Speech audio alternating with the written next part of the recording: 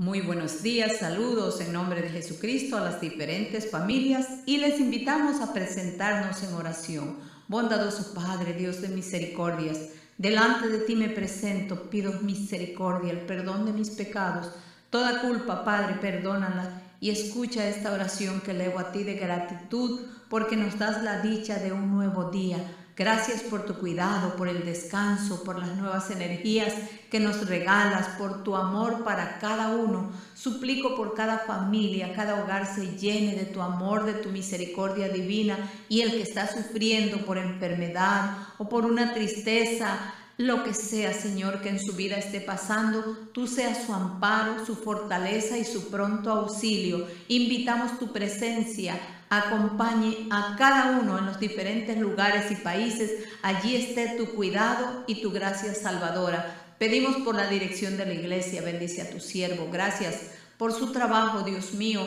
Síguelo usando para gloria de tu nombre y permite que en todos los planes y propósitos tenga la dirección de tu Espíritu Santo. Bendice al concilio, a todos los que trabajan para que tu iglesia se mantenga limpia y pura, Dios mío. Fortaleza del cielo, sabiduría que viene de ti, Padre. Necesitan cada uno y te rogamos, Señor, que todo integrante, todo director de país, todo evangelista, todo aquel que tiene a su cargo un departamento, un ministerio, con tal temor y concepto pueda caminar delante de ti, Señor, siendo bendición, llenando su copa de tu amor para poder también así compartir con el necesitado. Permite que este día todos los que van a su trabajo sean guardados, protegidos en las carreteras, líbralos de accidente, Padre Santo, así en el campo, en la ciudad, en el negocio, en la fábrica, en construcciones peligrosas y trabajos donde corren peligros. Tus hijos tu ángel los acompañe, los guarde y los proteja de todo el mal. Dios mío, misericordia pedimos para el huérfano, la viuda, el pobre y el necesitado. Dios mío, el que necesita un techo, un trabajo, sus alimentos, que a ninguno le falte, Señor. Ten misericordia del que está en cárceles, en asilos, Señor, el que está en adicciones, misericordia para esas almas cautivas Señor, rompe las cadenas de opresión y puedan abrir sus ojos y darse cuenta que con tu ayuda pueden vencer. Ten misericordia de los que están en problemas con su matrimonio y permite, Padre Santo, que la oración de cada uno que sea elevada hasta tu trono llegue y halle respuesta conforme a tu infinita misericordia, que la palabra que será compartida llene nuestra alma y nos aliente a ser mejores delante de ti. Pedimos por las congregaciones de este día, Masaya, Nicaragua, Dolphin, Señor, en tus manos están estas congregaciones, sus pastores, planes, propósitos, necesidades, sean cubiertas por ti, Padre Santo, y cada uno lleno de fe y de esperanza, testifique de tu amor y tu bondad. Quédate con nosotros, te lo rogamos humildemente en el nombre de Cristo Jesús. Amén. Padre nuestro, que estás en los cielos, santificado sea tu nombre, venga tu reino, sea hecha tu voluntad como en el cielo, así también en la tierra. Danos hoy nuestro pan cotidiano y perdónanos nuestras deudas como también nosotros perdonamos a nuestros deudores. Y no nos metas en tentación, mas líbranos del mal, porque tuyo es el reino y el poder y la gloria por todos los siglos. Amén. Gloria al Señor. Bendito sea su santo nombre y ya con mucho gusto compartimos esta hermosa alabanza.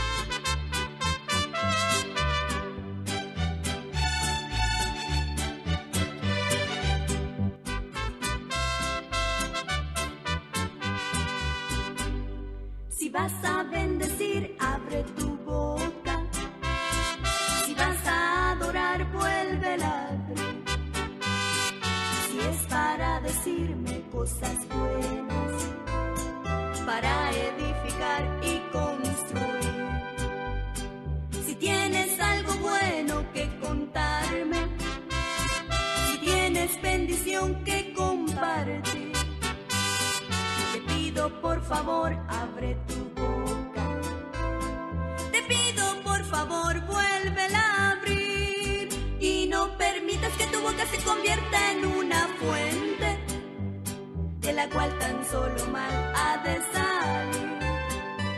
Si tú quieres que tu boca se convierta en instrumento de honra, solo así debe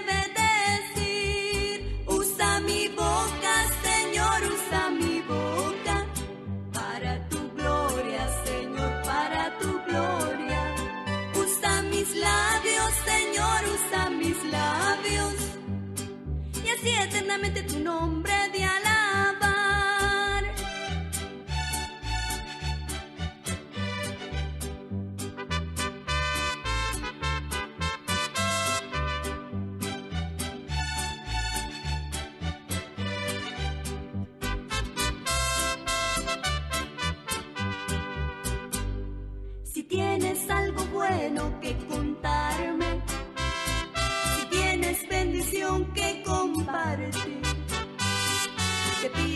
favor abre tu boca.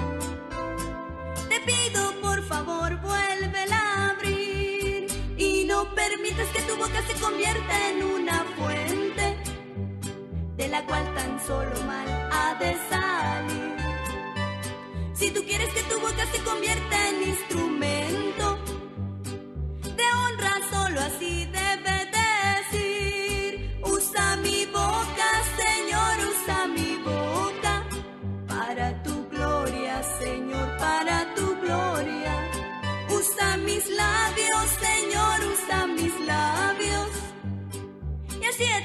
tu nombre de alabar.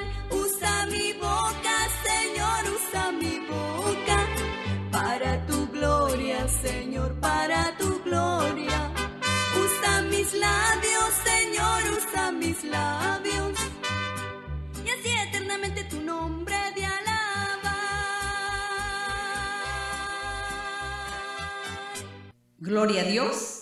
Deseamos haya sido de su agrado y ya compartimos el escrito de esta hermosa mañana, viernes, día de preparación, 28 de mayo, la base bíblica, segunda de Corintios, el capítulo 2, los versículos 15 y el 16.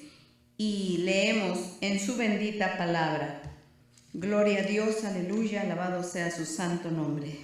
Porque para Dios somos buen olor de Cristo en los que se salvan y en los que se pierden, a esto ciertamente olor de muerte para muerte y aquellos olor de vida para vida y para estas cosas. ¿Quién es suficiente? Que el Señor reciba la gloria de su bendita palabra compartida. Y ya entonces compartimos el escrito de esta hermosa mañana. Moscas muertas. Las palabras de Eclesiastés 10.1 son un refrán cuya enseñanza principal es que importa evitar no solo los grandes pecados, sino también los más pequeños defectos. Las vidas de los salvados para Dios como un perfume de olor grato. Segunda de Corintios 2, 15 y 16. Sin embargo, de vez en cuando aparecen esas moscas muertas que corrompen ese aroma de santidad, la impaciencia, la irritabilidad, la pereza, la torpeza, la grosería, el espíritu de burla o crítica, entre otras, son pequeñas acciones que generan el buen testimonio y empañan el carácter de Cristo en el creyente. Ante un Dios santo que quiere vernos sin mancha ni arruga, los pequeños defectos deben ser combatidos y erradicados.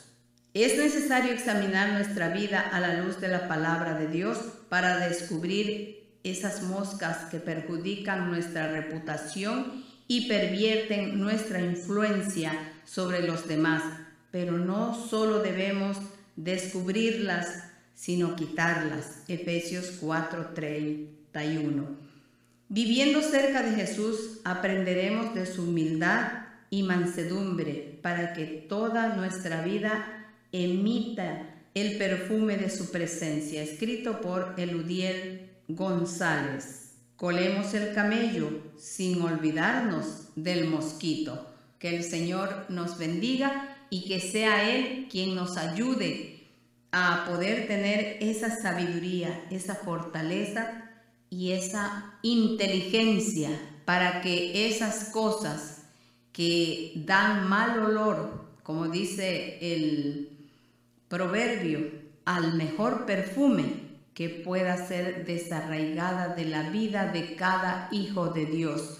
Luchemos por ser mejores. Qué bueno es que aprendamos a deshacernos de esas cosas feas que no se esperan de un santificado, ese espíritu de burla que muchas veces fácil podemos caer en ellos sin saber si estamos dañando a la persona, que a veces le llamamos un sobrenombre o nos reímos de algo que le pasó o de algún, peor todavía, un defecto físico y que nos estemos burlando. Tenemos que aprender a respetar y a enseñar también a nuestros pequeños a que respeten y no debemos burlarnos de nadie porque hay cosas que no se deben hacer y que no lucen bien en un santificado, en un hijo de Dios.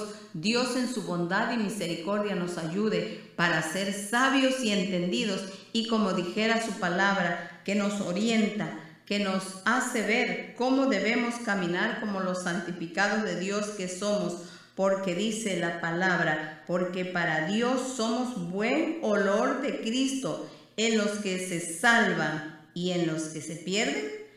A estos ciertamente olor de muerte para muerte y a aquellos olor de vida para vida. Y para estas cosas, ¿quién es suficiente?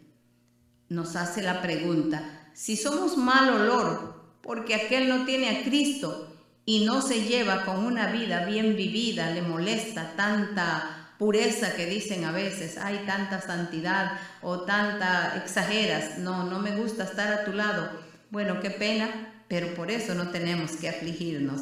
Tenemos que afligirnos cuando nos dicen, tú siendo cristiano estás haciendo estas cosas o esas pequeñas cosas, porque dice las pequeñas zorras, cuánto daño hace, cuántas viñas destruyen, por pequeñitas que sean, son malas. Asimismo, las malas acciones. Como dice el pensamiento, cuidemos eh, de, dice de el camello, pero también de esa pajita que creemos que no hace mucho daño, pero si somos hijos de Dios, no luce bien ni honran el nombre de Cristo. Todo lo deshonesto, como ya lo dice, lo que no es de buen nombre, hay que desarraigarlo de nuestra vida. Nuestra vida debe ser siempre un olor grato ante la presencia de Dios, que no... Eh, tengamos que ir todos los días de nuestra vida, Señor, perdóname porque ofendí a mi hermano o a mi hermana, perdóname Dios mío por la broma tan pesada que le hice o por esta acción que hice que no es correcta ni agradable delante de ti. Dios mío, que Dios nos ayude. Y claro que es mejor pedir perdón, pero bueno fuera no tener, no tener que pedir perdón por malas acciones que como hijos de Dios que somos y que nos aconseja su palabra cómo debemos caminar, que le podamos honrar así de esa manera, que a Él le agrada en santidad y en justicia delante de Él. Todos los días nuestros nos enseña la palabra de Dios. Así es que procuremos, eh, y como dice la palabra de Dios, estar en su amor, en su gracia, él nos aconseja, ninguna palabra torpe salga de vuestra boca, sino la que sea buena para edificación, para que dé gracia a los oyentes. Y sobre todo, no contristéis al Espíritu Santo de Dios, con el cual estáis sellados para el día de la redención. Dios tenga misericordia de nosotros. Y toda amargura, enojo, ira y voces y maldicencia sean quitadas de, de vosotros y toda malicia.